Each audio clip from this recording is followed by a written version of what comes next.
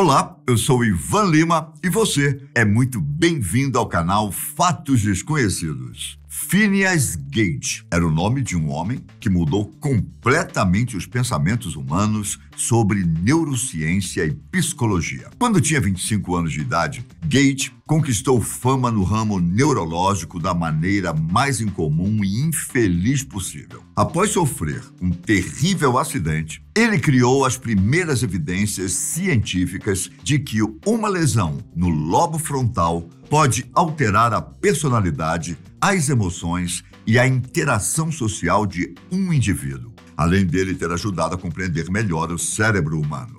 Sabe qual é a pior parte dessa história? Bom, sabemos muito pouco sobre a vida do homem que, mesmo de forma involuntária, teve uma imensa contribuição para a ciência. Mas tentarei contar o pouco que se sabe sobre a história de Phineas Gage, no dia 13 de setembro de 1848, em uma tarde quente, Gage estava trabalhando em uma ferrovia nos arredores da cidade de Cavendish, em Vermont. Nascido em 1823, na época, Gage tinha apenas 25 anos de idade e era um jovem forte, trabalhador e virtuoso. O jovem trabalhava no assentamento de trilhos e tinha uma função bem simples, porém necessária. Ele era responsável por retirar as pedras do caminho, eliminando rochas que possivelmente atrapalhariam a passagem dos trilhos. Algumas dessas pedras ele conseguia remover com facilidade, porém, as maiores e mais pesadas precisavam ser removidas com uma técnica simples e que aparentemente não oferecia perigo.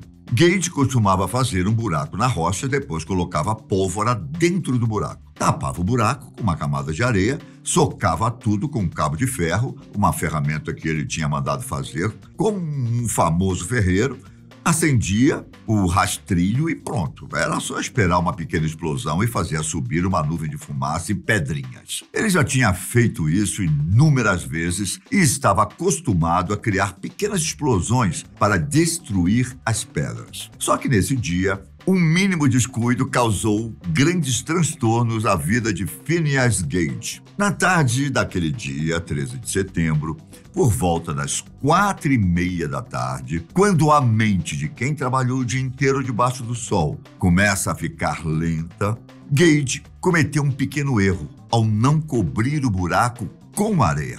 Com descuido, quando ele socou o buraco com a barra de ferro, a ferramenta criou uma faísca na mesma hora em que ele socou o ferro diretamente na pólvora. Por causa de um simples descuido, bum! Gage foi vítima das explosões que ele mesmo criava na construção da ferrovia. A explosão, apesar de pequena, foi forte o suficiente para fazer o ferro entrar em uma parte do seu rosto, pouco abaixo do seu olho esquerdo, e sair pela parte de cima. Isso mesmo que você escutou. A barra de ferro atravessou o crânio de Gage e foi parar na parte de cima de sua cabeça.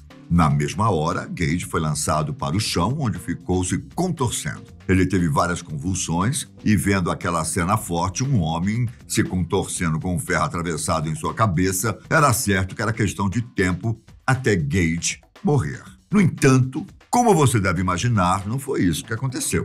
Uh-uh. Apesar das convulsões, minutos depois de ter sido atingido, Gage se levantou, bateu a poeira de sua roupa e começou a conversar normalmente com seus amigos. Pela gravidade do ferimento e perda da massa encefálica, parecia impossível que Gage estivesse de pé.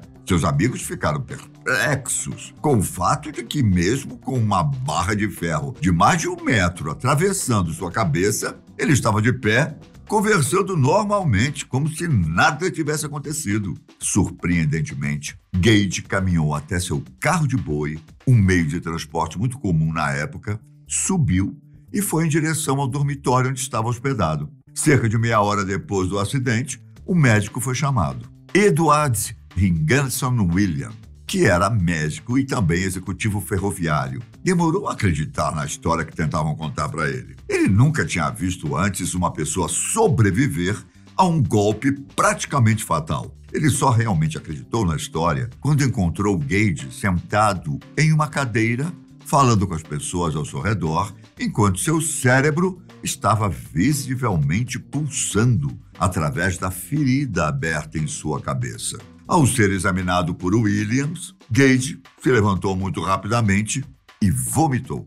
O movimento fez cair mais da massa encefálica para fora da ferida. Quando Williams viu o ferimento de Gage, ele descobriu que não precisava mais ser convencido de que a história era real. Imediatamente, ele e um assistente começaram a trabalhar, removendo fragmentos de ossos e limpando o ferimento antes de fazer um curativo. O ferimento por onde o ferro entrou na bochecha de Gage também foi fechado e toda a sua cabeça foi envolta em bandagens. Ao final da consulta, Gage havia perdido quase 170 gramas de sua massa encefálica. Phineas Gage foi finalmente liberado dos cuidados do médico após 10 semanas de recuperação, um tempo moderadamente curto em comparação com outras lesões semelhantes. Durante o tempo em que esteve em observação, Gage perdeu o olho esquerdo devido a um inchaço. Passou alguns dias em estado de coma e teve que remover os fungos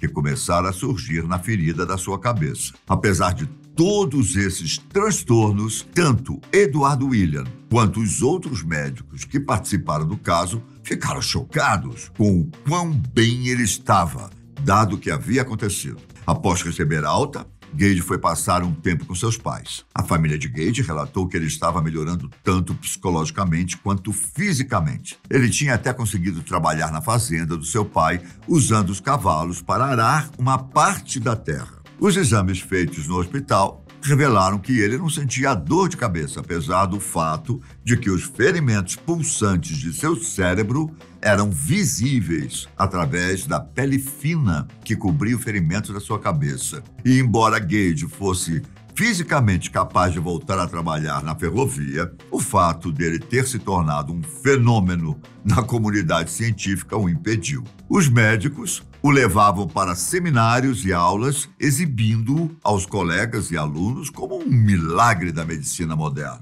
Ele também passou um curto período de tempo como experimento vivo em um circo de horrores de Nova York. Ele viajava e fazia partes dos shows, assim como o caso das irmãs Sutherland, caso que eu contei recentemente aqui no canal.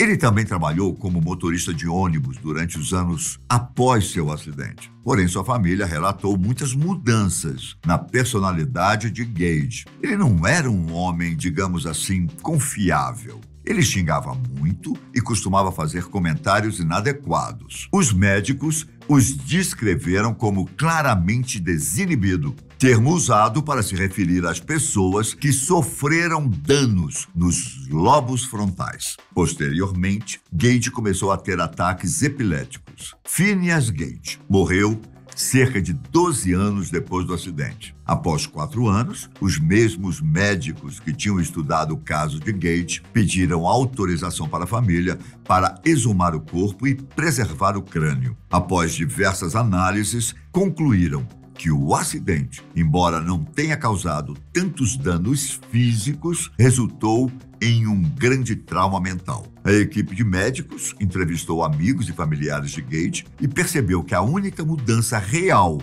que ocorrera havia sido em sua personalidade. Como eu disse, antes do acidente, ele era reservado, trabalhador e um homem bem equilibrado. Depois, eles notaram que ele havia se tornado uma pessoa desagradável, completamente diferente do Gage de antes do acidente. Porém, algumas características de Gage continuaram intactas, o que levou os médicos à descoberta de que certas partes do cérebro eram responsáveis por diferentes aspectos da vida de uma pessoa. Eles perceberam que o lobo frontal esquerdo do cérebro de Gage foi o único afetado pelo trauma. Portanto, essa era a área responsável pelo controle da personalidade e dos impulsos. O estudo do crânio de Gage também levou a outra descoberta. O nosso cérebro pode se curar. Embora tivesse ocorrido uma mudança de personalidade, com o tempo, Gage parecia estar voltando ao que era antes, embora posteriormente cientistas tenham atribuído o comportamento à adaptação social. O caso de Phineas Gage se tornou o maior exemplo de que mudanças de personalidade acontecem devido a danos no lobo frontal. Psiquiatras, psicólogos e neurocientistas atribuem muito do que se sabe hoje sobre a função cerebral à lesão de Gage e ao estudo do seu crânio. Mesmo tanto tempo depois, o caso ainda gera debates sobre danos cerebrais e funcionalidade. Bom, eu fico por aqui, mas nos vemos no próximo vídeo da Fatos Desconhecidos. Fiquem com Deus, um grande abraço. Tchau!